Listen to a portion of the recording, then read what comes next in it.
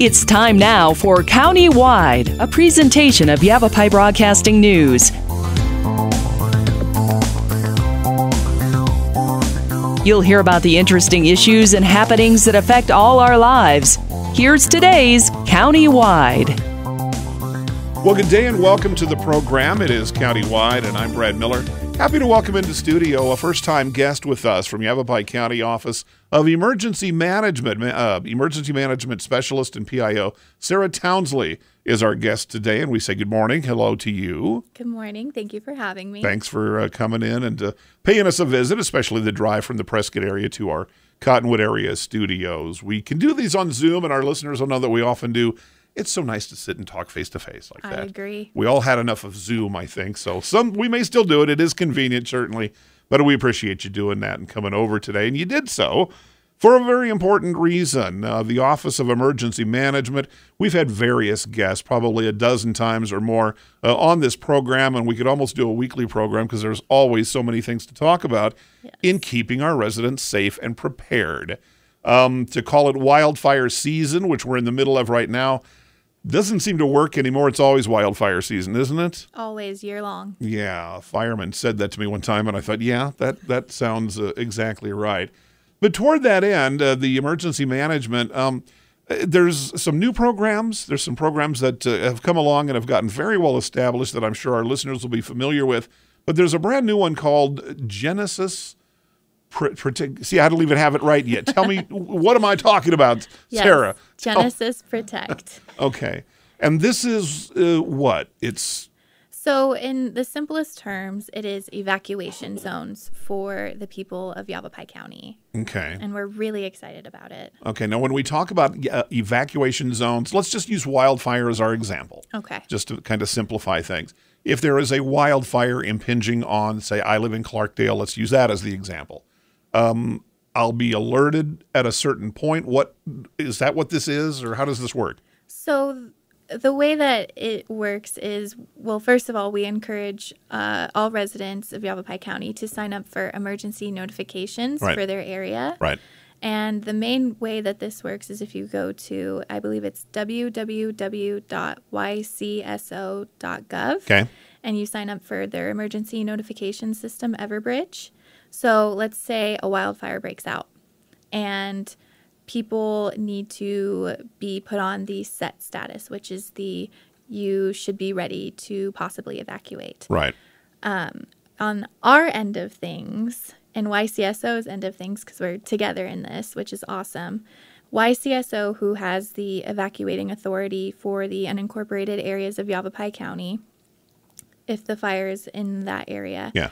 They will go into our side of Genasys and highlight the zones that need to be put on the set status.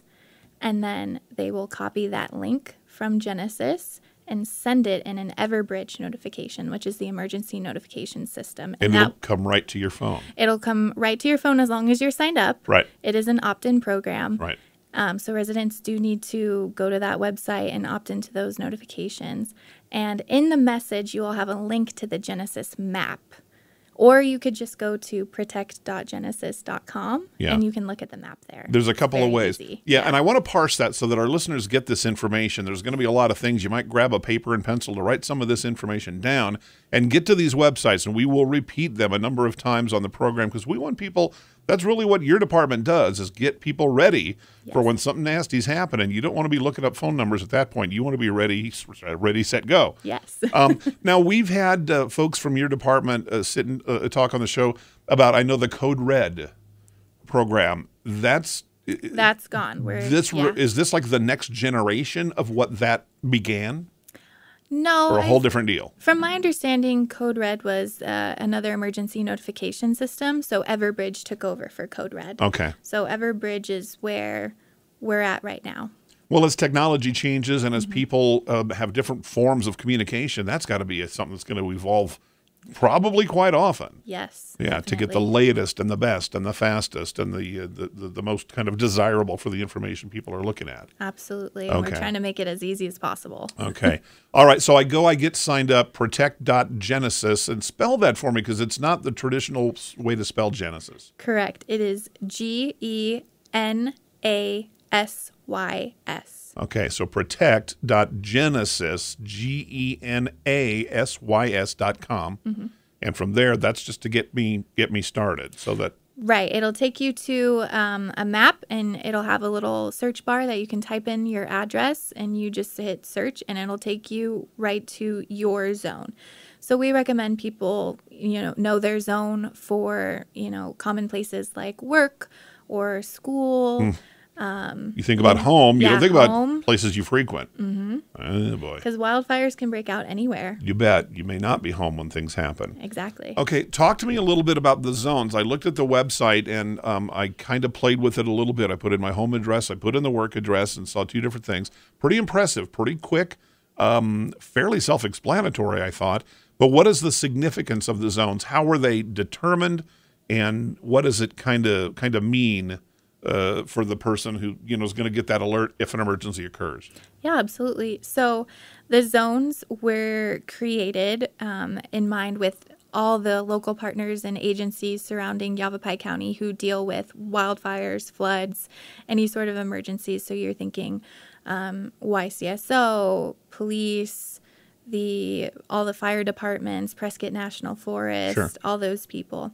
And it took about a month, and we would meet um, in every sort of corner of Yavapai County. Yeah. We'd met northeast, southwest, and we'd meet with the locals there who really knew the county, that part of their county. Yeah, that's who you want. Yeah, You we, bet. We took maps and they divvied up all of the zones, and we said, "We're not the professionals, you guys are." And they drew on maps, and we, you know, luckily we have an amazing GIS department at Yavapai County, and they helped out too. And we were able to implement all of these zones and get them over to the Genasys people, and they put it up and Right. did whatever they do Yeah. to get it working. Yeah. Is Genasys like a national program that you've incorporated into the county, or is it just local to us? So Genasys is local to. It's not. How do I want to say this? It's not local to Yavapai County per se. It is. It's nationwide. It's a Okay. company. Okay. Um, So we're, we're like a chapter. Yes, we are. We're Okay. a chapter in their book. Um, I believe a lot of counties in California, Okay. Colorado, kind of, you know, the main fire areas use Right. Genasys, which was what got our department interested in first. Um, we saw a preview on it. I believe it was either the Grapevine or Racetrack Fire Okay. and we got to play around with it a little bit and that was sign seal deliver we were we were hooked on genasys When you go, even as a layman, and go in and just kind of look at it for your own personal stake, uh, it's pretty impressive. Uh, just what it, speed is everything in an Yes. emergency, no matter what kind of a, it is. Uh, l- alerting people of what is happening and then updating them as uh, things develop, either better or for better or for worse, Yes. uh, is critical. And that's you know kind of hard to kind of hard to do. So this seems like a, an extraordinary tool. Uh, but again, you've got to sign up for it. It doesn't just kind of happen. And tell us again uh, as we go to our first break, uh, Sarah, uh, how do I sign up if I'm listening right now? I want to be part of what you're telling me about here this morning. What do I got to do first? so the first thing you have to do is sign up for the everbridge emergency notification system through ycso and genasys anyone can have genasys Yeah. you can download there's a free app that you can get on your cell phone you just go to the app store and download that or you can go to protect.genasys.com and just type in the type in your address in the search bar Yeah, and pull yeah. it up and so that that's very easy but if you do want to get the emergency notification systems in those critical times during you know an emergency happening we definitely recommend you sign up for those alerts because that will give you the link to genasys in I want to talk to you a little bit more about the zones and why they're important and how uh, um, for for for the for the users how it's kind of divvied up. So we'll do that when we come back. Our guest is Sarah Townsley. Sarah's with the Yavapai County Office of Emergency Management. New technology to keep you safe, keep all of us safe, especially during this wildfire season, flood season in the wintertime, whatever season it is, whatever kind of emergency could uh, occur in Yavapai County. It's countywide. We'll take a break. We'll be back right after this.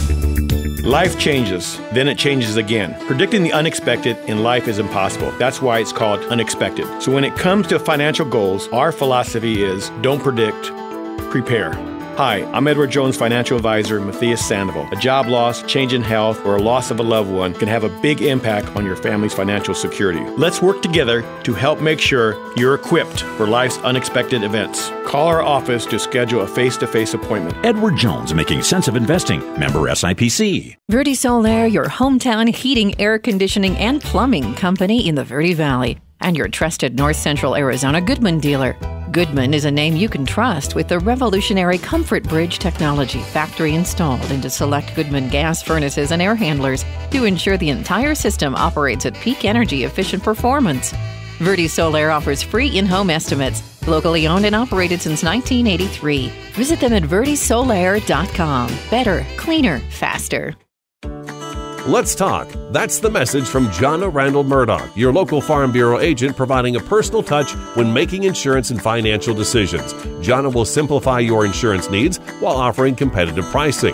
Let's talk auto, home, life, and farm. Call Jonna at Farm Bureau today at 928 649 8686. Your Cottonwood Farm Bureau property and casualty insurance company. At Farm Bureau, they insure more than just farms.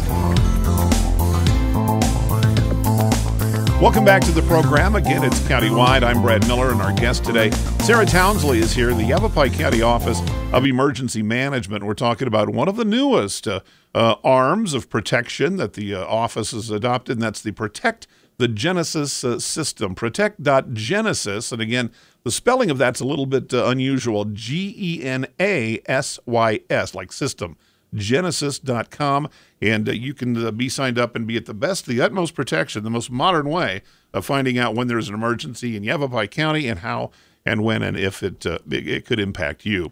These zones there's a zone map and anybody who goes online takes a look will understand what i'm talking about very quickly.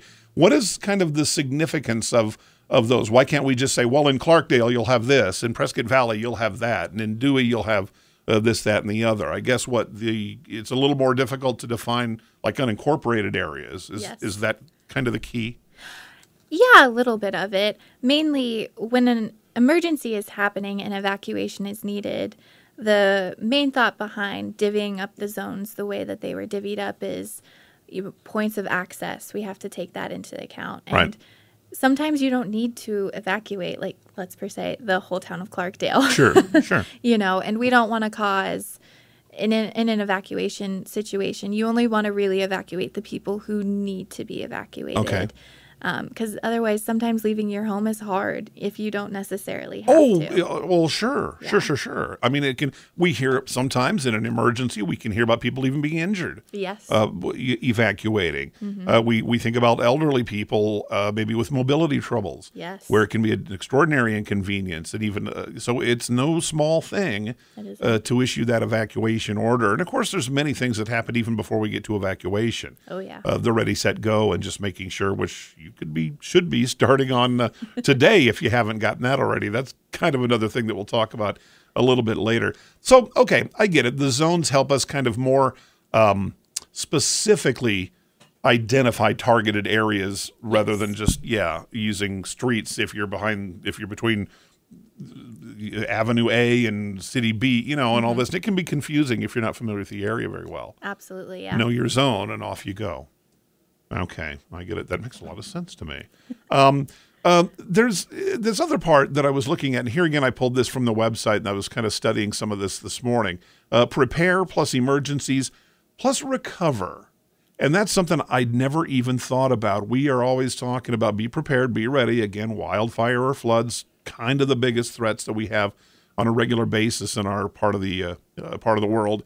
Uh, but the recover element was something that had never kind of uh, occurred to me. What does that What does that mean? Yeah, so we always say that disasters start local and they end local. Yeah. Yeah. So recovery is, you know, typically such a long process. Right. Um, I mean, e- even now, like you think about like Hurricane Katrina. Right.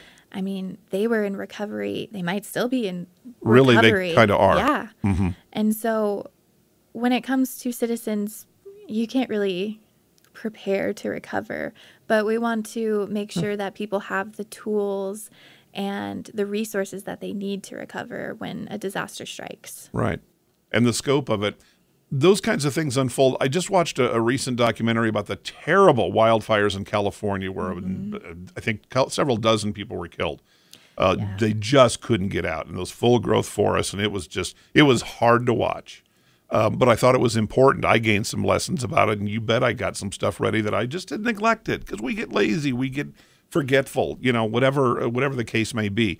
But that uh, uh, when we talk about that kind of recovery, there's going to be so many different kinds of things. There was loss of life. The worst yes. of the worst happened uh, uh, happened there, um, and so you you go beyond that. That's the worst and the utmost and the forefront. But you start talking about there's going to be road repair is going to be needed. Mm-hmm. Washed out, you know, uh, the waterways are going to be, have to be repaired and so on and, and, things like that. Is that part of the purview of the of your department?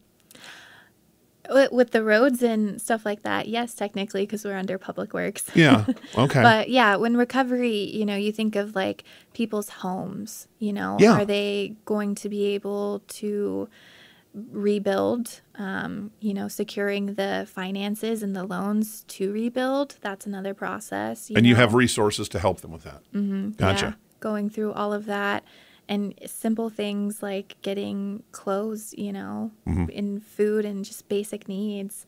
That's a big part of recovery, making people feel safe about where they are again. Because when disasters strike, it can be a really unsettling feeling. Yeah, yeah. When um, what was that phrase you used? Disaster start local and, and end local. local yeah. I that it, that encapsulates it, you know, kind of so well. Mm-hmm. If we think about things that happen in other communities, you kind of see it on the news. Oh my gosh! And then the fire's out, or it's more fully contained. We stop thinking about it when it's not local and it's not not here. We're happy that it's not here. Uh, but those folks, for some of them, the, the real tragedies are just starting. Yeah. And uh, God forbid it happens. Well, it has happened here but uh, that it should never kind of happen again. But it's comforting to know that your department is at the forefront of making sure that if it does, uh, we're uh, we're ready. We've thought through some of these scenarios, and we're going to understand what people may need after the flames have been put out. Absolutely. When people have to put back the puzzle pieces of their life, you know, we want to make sure that we are able to give the community every resource we possibly can to yeah. help with that. I thought uh, the website, uh, the yavapai I know we're throwing a lot of those out today, and we're going to repeat them in our last segment because we want you to have that information. But that's where I found that about the recovery piece. There's a mm-hmm. whole tab. Uh, it's a very uh, a, a good website. It's Thank easy you. to navigate, and yeah, I, I, found it very, very helpful. So take a look uh, at that, folks. Uh, yavapaiready.gov about the recovery thing, and hopefully uh, none of us will ever kind of need that. But it's good to know that it's been thought about, implemented, and put in place um, if and when any of us ever do. We need to take another short break, so we'll do that. Our guest today is Sarah Townsley, Yavapai County Office of Emergency Management. It's countywide. We're back right after this. Life changes, then it changes again. Predicting the unexpected in life is impossible. That's why it's called unexpected. So when it comes to financial goals, our philosophy is don't predict, prepare. Hi, I'm Edward Jones financial advisor Matthias Sandoval. A job loss, change in health, or a loss of a loved one can have a big impact on your family's financial security. Let's work together to help make sure you're equipped for life's unexpected events. Call our office to schedule a face to face appointment. Edward Jones, making sense of investing. Member SIPC. Verde Solaire, your hometown heating, air conditioning, and plumbing company in the Verde Valley, and your trusted North Central Arizona Goodman dealer. Goodman is a name you can trust with the revolutionary Comfort Bridge technology factory installed into select Goodman gas furnaces and air handlers to ensure the entire system operates at peak energy efficient performance. Verde Solaire offers free in home estimates, locally owned and operated since 1983. Visit them at verdesolaire.com. Better, cleaner, faster. Let's talk. That's the message from Jonna Randall Murdoch, your local Farm Bureau agent providing a personal touch when making insurance and financial decisions. Jonna will simplify your insurance needs while offering competitive pricing. Let's talk auto, home, life, and farm. Call Jonna at Farm Bureau today at 928 649 8686. Your Cottonwood Farm Bureau property and casualty insurance company. At Farm Bureau, they insure more than just farms. We welcome you back to the program. It's Countywide. I'm Brad Miller, and our guest today, Sarah Townsley, is with the Yavapai County Office of Emergency Management. We're going to repeat some of those websites and uh, information so you can jot that down and get signed up These uh, programs are terrific, but they don't work unless you opt in. So you do want to be a part of it, and you don't want to be trying to sign up. And what was that number again? When uh, uh, you see smoke or uh, uh, the waters are rising, you want to do it way before that, like today on a beautiful sunny day. Um, Sarah, tell me again, how do I do it? Just as we did at the beginning for folks listening, I want to be part of the uh, the Genasys program. I want to get signed up. What do I do? Absolutely. So the first step is to go to uh, YCSO's Everbridge um, and sign up for that. That's their emergency notification And that's system. that's the, the sheriff's office website. yeah. Uh, people, I think, yeah. have assumed that. We're just saying YCSO, but that, it's Yeah. the sheriff's office website. So, okay. ycso.gov.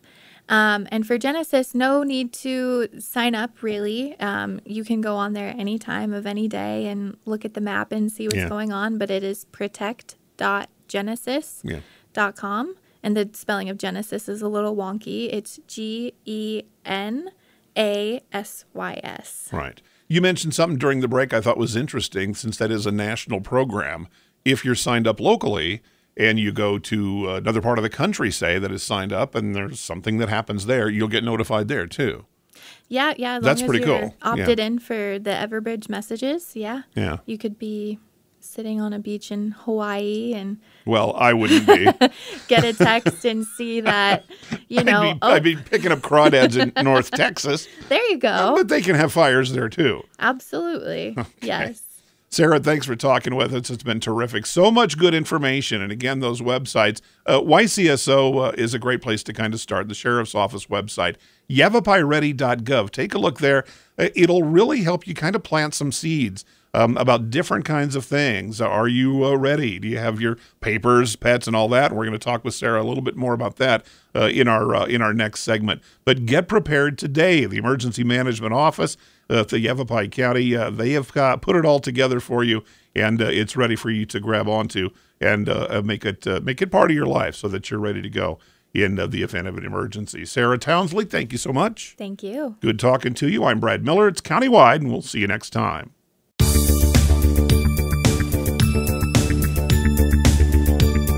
This has been Countywide. Listen in each Tuesday and Thursday at this time. If you have a topic or guest idea that you'd like to suggest, email us news at myradioplace.com.